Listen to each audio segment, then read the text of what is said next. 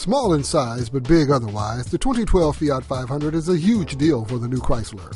So huge, the company has plans to sell 50,000 of them the first year it's on the market here in North America. It could happen, and here's why. Like the Mazda Miata, VW New Beetle, Mini Cooper, and Smart Fortwo before it, the Fiat 500's look implies a personality. That egg-like shape fronted by a face sporting a mustache and a goofy grin is sure to make people smile.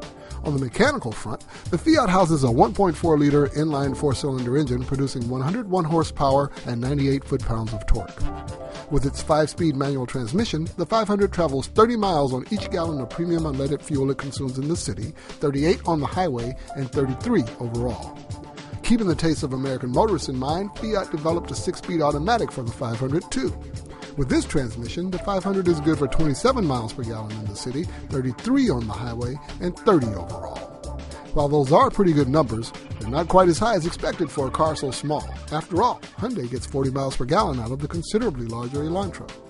Still, though, the 500 corners nicely, rides smoothly, and is comfortable over uneven surfaces. More urban runabout than performance car, the 500 will do highway duty, though wind noise and tire roar at speed are quite noticeable.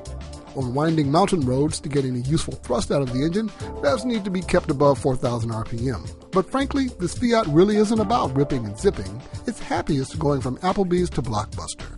The 500's interior is absolutely delightful, though, with its idiosyncratic shapes and color schemes. The dash brings the exterior paint inside, while the two tone seating infuses even more color.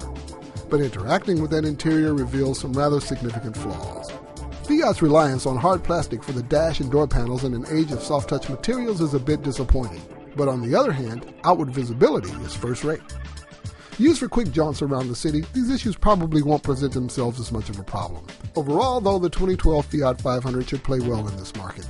With pricing starting at $16,100 including destination charges, Decisive Media predicts people will be quite charmed by the tiny Italian car and its cute little face.